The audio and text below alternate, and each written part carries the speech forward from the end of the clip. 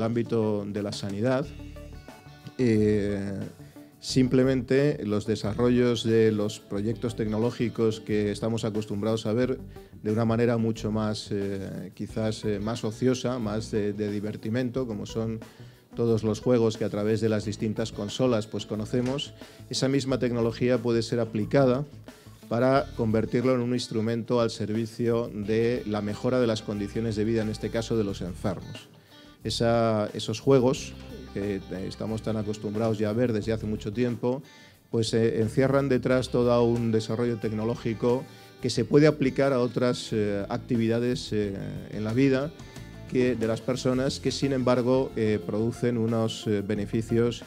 mucho más mayores de lo que es el propio entretenimiento. Y aquí lo hemos visto, ¿no? esos proyectos de desarrollo para facilitar la atención a los enfermos de Alzheimer, como el que hemos visto, o esos proyectos eh, piloto que estamos haciendo con La Paz para eh, eh, ese análisis del genoma humano para predecir las enfermedades de las personas con una cierta anticipación, o también todos esos proyectos de rehabilitación haciéndole más cómodo al paciente el ejercicio necesario para esa rehabilitación, haciéndole también más cómodas sus relaciones con los médicos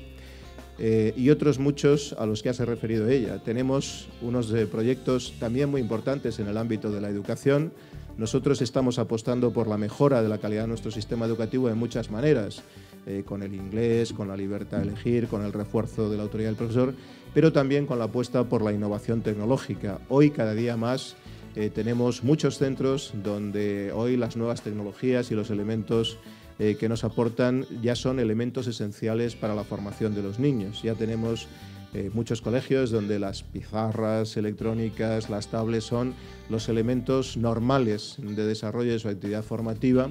y tenemos incluso mm, institutos especializados entre los cuales los institutos eh, tecnológicos constituyen también una de las mejoras que nosotros estamos impulsando desde el punto de vista de la educación en la Comunidad de Madrid. Y somos también en ese sentido pioneros y centros de referencia gracias a la colaboración de empresas